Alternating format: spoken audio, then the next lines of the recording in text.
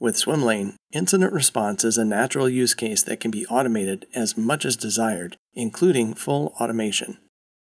Many Swimlane use cases have incident response built natively into their design, like this example featuring the response to phishing and SIEM alerts. To integrate the full incident response process into your existing use cases, you can also use Swimlane Incident Response. This application incorporates every step of the incident response plan from preparation through post incident recovery. The application can be standalone or tied into existing use cases. When a new incident occurs, the process starts with a new record. Everything in this design can be adjusted to fit your organization's requirements. Overall information such as priority levels, SLAs, requirements, and escalation paths can be shown as well as any documentation such as the incident response plan itself. Once the priority of the incident is selected, the record fields are displayed to guide the user through the required process. At the top of the record are widgets displaying the overall incident information such as status and priority. The case name can be generated or tied to an existing case. As the user steps through the process, the timeline widget will adjust accordingly to display where in the process the incident is currently. The knowledge base remains available on this tab throughout the incident. Moving over to the Incident Management tab provides access to all the fields that need to be completed in this incident response process. The user starts by completing the identification fields. Once the identification fields are completed, the record can be saved and updated and the process can move to containment.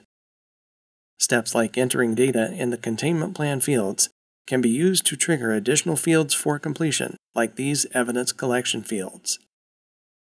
Each of these evidence collection steps can be connected to Swimlane tasks and either automated or made available as record actions, thereby ensuring the analyst does not need to keep a myriad of tabs, systems, and applications open to facilitate the incident response process. Once the containment fields are complete, the process moves to the eradication phase. Once again, filling out the required fields can prompt the user for any additional information that should be completed on this step. Next is the recovery phase and completion of the necessary fields. After the recovery phase is the lessons learned phase and the fields on the lessons learned tab. As the fields are being completed on each tab, any additional required documentation and other artifacts can be attached to the incident record using the Artifacts Attachment field. Users can also make additional comments in the incident record using the Analyst Communications comment field. Once everything is complete for this incident, it can be closed by selecting Case Closed in the timeline. This will kick off all the closing steps specified in the Swimlane workflow, including creation of the event summary using the incident record details. Remember, like all Swimlane examples, everything is fully customizable and can be easily modified to match your existing process. This is one example of how the incident response process might be accomplished with Swimlane.